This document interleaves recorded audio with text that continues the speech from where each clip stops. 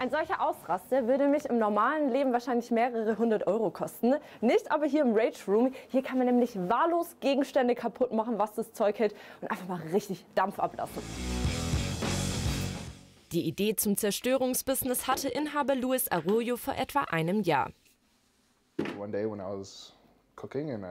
Eines Tages, als ich gerade gekocht habe, ist mir ein Glas heruntergefallen und zerbrochen. Das war aufregend und da habe ich mir gedacht, vielleicht gefällt das ja auch anderen Leuten. Und ganz nebenbei glaube ich, es hilft ihnen und gibt ein Ventil zum Stressablassen, welches sie sonst nicht haben.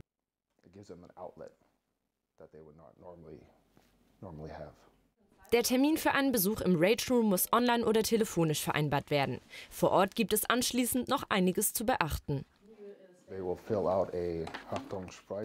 Sie müssen eine Haftungsfreistellung unterzeichnen. Es handelt sich um eine gefährliche Aktivität, es kann also immer etwas passieren und wir versuchen es so sicher wie möglich zu gestalten.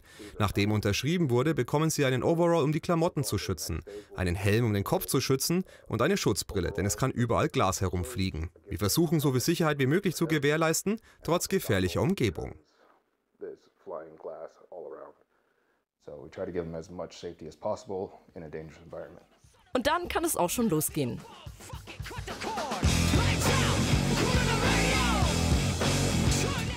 Besucherinnen und Besucher können je nach Belieben zwischen verschiedenen Levels entscheiden. Von 15 Minuten, die sich ideal zum Stressabbau eignen, bis hin zu einer Stunde ist alles möglich. Preislich geht es ab 30 Euro los. Die Materialien zum Zerstören bekommt Louis auf ganz unterschiedliche Weise.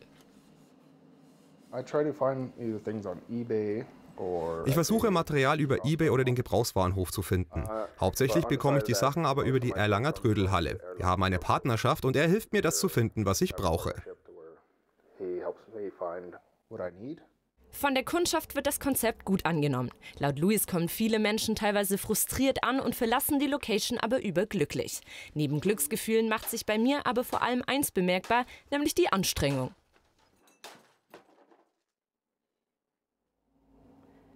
40 Minuten wurde mir gesagt, hat man Zeit, um hier den ganzen Raum zu zerlegen. Nach 15 bin ich jetzt schon fertig. Ich muss sagen, es macht wirklich richtig, richtig viel Spaß. Ist aber auch extrem anstrengend. Also ich habe das Ganze auch ein bisschen unterschätzt. Und äh, ich bin jetzt wirklich fix und fertig. Aber eine Tasse, die zerschlage ich noch, die habe ich noch übrig.